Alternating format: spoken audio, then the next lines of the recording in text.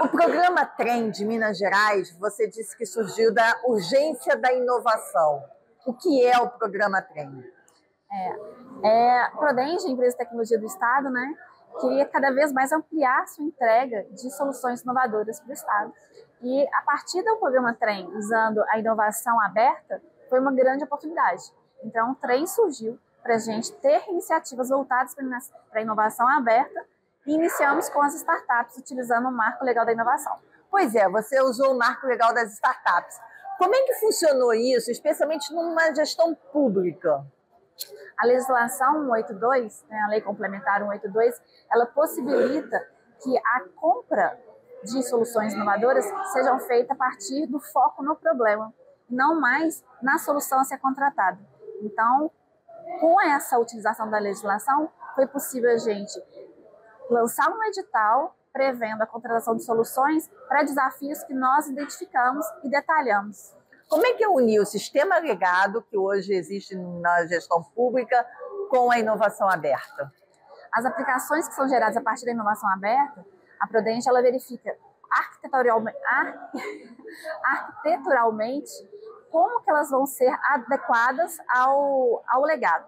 Então, normalmente são feitas através de APIs e essas APIs elas podem conectar com todo o nosso legado ou com outras iniciativas que vão ser desenvolvidas posteriormente. O que, que o programa Trem já trouxe para Minas, para Minas Gerais? Dois desafios foram lançados para o mercado e nós contratamos duas startups. Um desafio voltado para pesquisa de preço e outro para documentos inteligentes.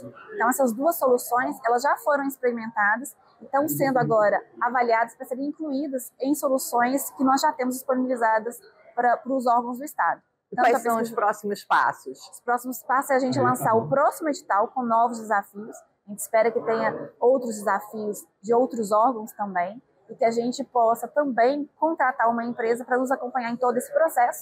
Então, a gente vai lançar o desafio da contratação da empresa de ecossistema de inovação e também a, o desafio e também o edital com os novos desafios. E qualquer empresa pode participar, mesmo não sendo de Minas Gerais? Sim, nós até tivemos outras empresas de outros estados que participaram e uma delas que ganhou um dos desafios também não é de Minas Gerais.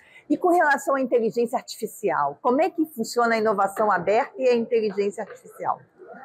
A grande maioria das propostas que nós recebemos para os dois desafios é, vislumbrava o uso de inteligência artificial. Então a gente vê que vai ser um fomento muito grande do uso de soluções que vão fazer uso da inteligência artificial também. Quando a gente fala de inovação aberta, eu fico imaginando a gestão pública que há muitos silos. Há silos de secretarias, há silos de dados. Como fazer que a inovação ela chegue a todos os órgãos de forma igual? É, realmente isso aí é um grande desafio, né? porque é importante ter a participação do órgão. O desafio, normalmente, ele vem de um dos órgãos do Estado e eles precisam detalhar e definir exatamente qual é o critério de sucesso que eles vão receber, que eles querem receber para a solução. Então, esse desafio tem que ser trabalhado junto aos órgãos.